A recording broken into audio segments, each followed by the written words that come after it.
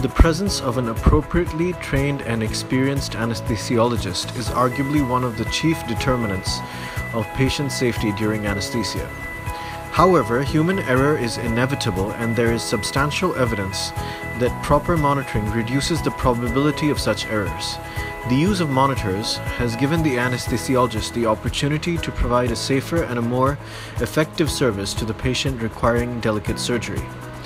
Interpretation of the data from these monitors depends on a thorough knowledge of the clinical and technical aspects of the modality in use. The monitoring package aims to present the principles and clinical applications of some of these critical monitoring systems.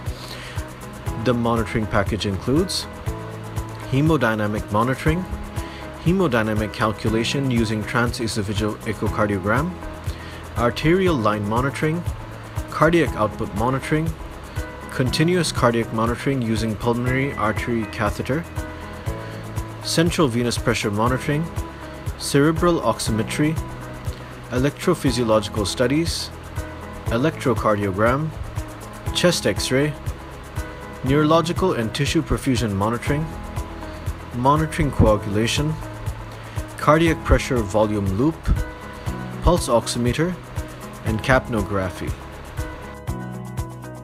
We wish you happy reading.